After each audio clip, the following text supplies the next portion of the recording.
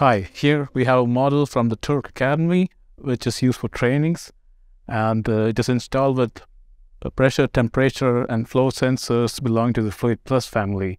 We have also installed a flow sensor FS101 onto this model, so let's try some things out on the FS101.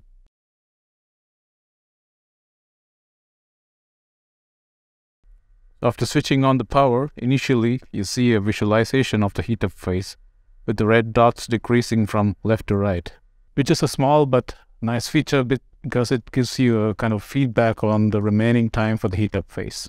So the sensor is now ready and right now the display is showing a relative flow between the maximum and minimum values that were previously set on the sensor. So in the factory settings, the sensor would be in max-min mode with default settings on the maximum and minimum flow rates on the sensor.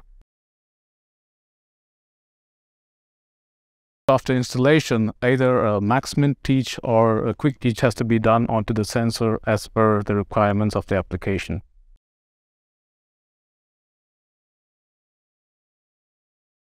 To unlock the sensor, keep enter pressed until all bars are lit up green from left to right. Do a swipe through mode, enter and set and the sensor is unlocked. After unlocking, touching once on set will show the temperature. You can browse through the menu using mode and set.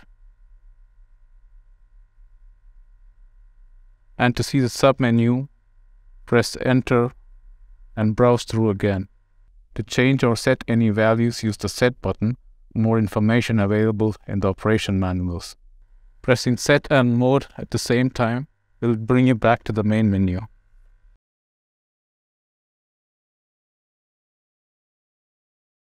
So in the max-min teach, you teach the maximum and minimum flow rate onto the sensor to show a relative flow within this range. Press and hold enter to go into the max-min teach mode. I'm turning the valve to a desired maximum flow rate. You will see IEP blinking red on the display, which means indicated endpoint or maximum teach value. If the flow is steady, the IEP blinks green. If not, it will keep blinking red until the flow is steady enough.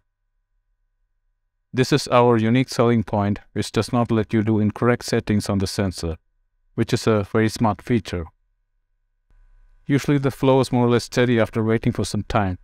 So one may ask, why do I need delta flow monitoring? I could just wait for 10 to 15 seconds until the flow is steady.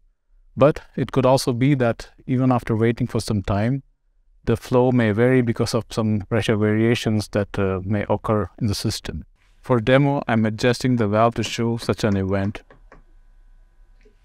Here you see that the delta flow monitoring is indicating this change in flow rate by blinking red again, not letting me to save the flow rate at this moment. I have to wait until it starts blinking green again to be able to save the value on the sensor. So now I'm going to save this flow rate as the maximum value by keeping set pressed. So between maximum and minimum values, there must be a minimum difference. This can be visualized again with the smart feature showing the values down from 9 to 1.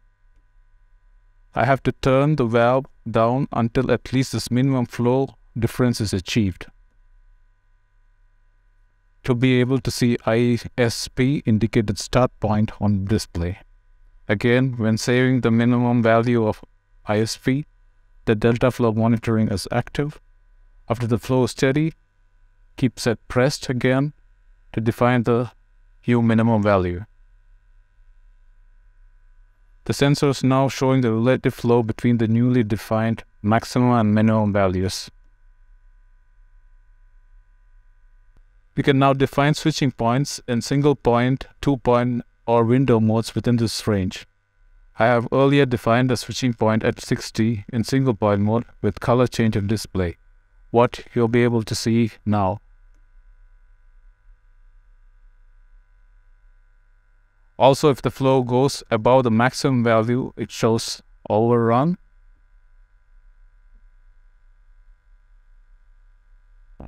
And similarly, if flow goes below the minimum value, it will show underrun.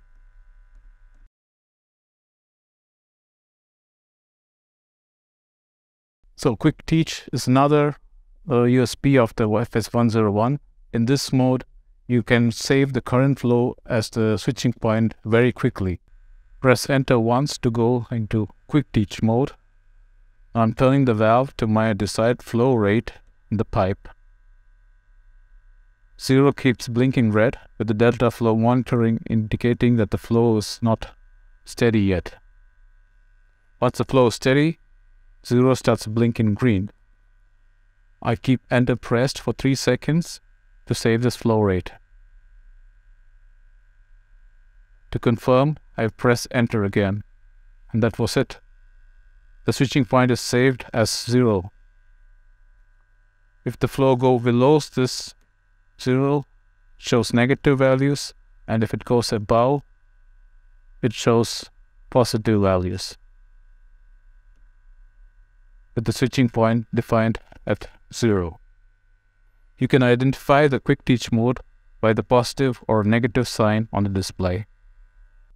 So you now saw how the FS101 in the same look and feel of the Fluid Plus family is very much easy to operate and also how the delta flow monitoring actively prevents any incorrect settings on the flow sensor.